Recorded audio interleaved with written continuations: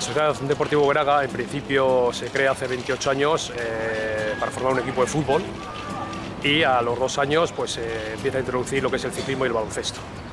El ciclismo estaba bastante bajo en Sopelana, entonces pues con un grupo de, chavales empezamos a trabajar lo que son las escuelas y, el mundo de los cadetes, chavales entre 8 y 15 años. En 2009 pues hemos sacado un equipo Elite UCI eh, femenino, eh, que está compitiendo, pues en este momento está compitiendo por ejemplo en Francia, eh, está corriendo en Italia, está haciendo toda la Copa España, ha hecho el Tour de Francia y nosotros queremos que tenga las mismas oportunidades y la misma categoría y el mismo caché que, los, que el, ciclismo masculino.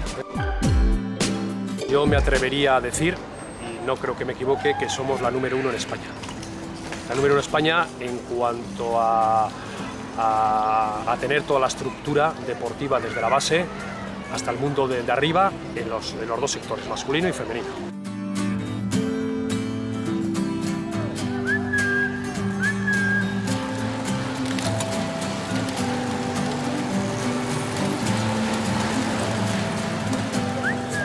Es decir, nos queremos identificar como un pueblo, no como en el mundo del ciclismo, lo que se identifica como una marca. Eh, nosotros, aparte de la marca, que lógicamente son los sponsors y los que nos apoyan y que sin su ayuda pues no seríamos nada, pero la, la identificamos como un pueblo. Hay que tener un sacrificio total, porque ya no solamente se trata de, de entrenar, hay que cuidarse, hay que descansar y hay que estudiar. Es primordial eh, el trabajar en equipo. Eh, las individualidades nos sirven, pero no nos sirven.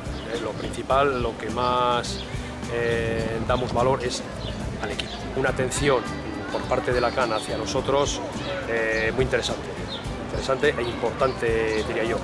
Incluso preocupación por nosotros y por nuestros proyectos. ¿no? Y desde luego es una cosa pues, que al final va a ser una relación mutua, eh, un equipo entre la CAN y, y.